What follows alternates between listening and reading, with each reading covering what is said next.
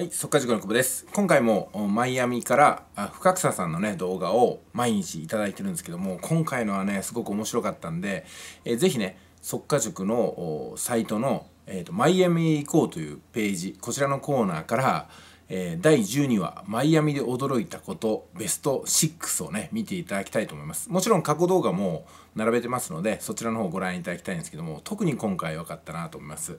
で、えー、私がねちょっとネタバレになっちゃうんですけど何点か申し上げるとマイアミフロリダ州に対する私の、まあ、予備知識っていうのはですね前回もお話した通り小学生から中学生にかけて見ていたなんか UFO 番組ってなんですよ。宇宙人がやってきて UFO を飛ばしてるみたいなね。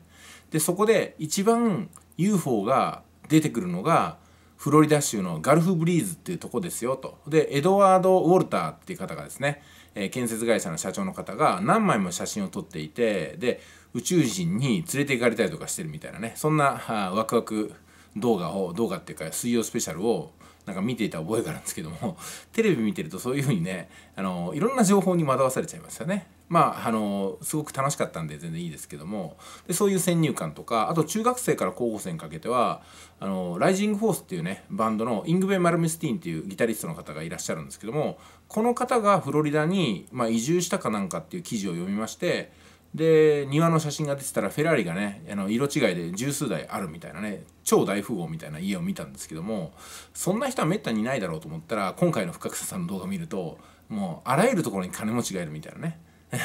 金持ちだけの街とか金持ちだけのストリートとか金持ちだけの島があるみたいなね。その土地開発ですらあ影響してるんだなと思ったらあこれはフロリダ州マイアミっていうところはすごいなと思いました。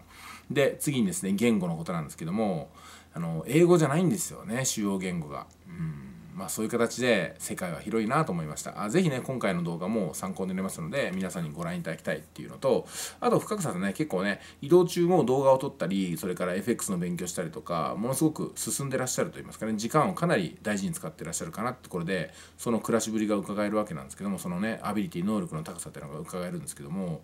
えー、もうすでにすでにというか早速ですね FX のデモトレードかなんかね小学講座を開いてトライするそうなんで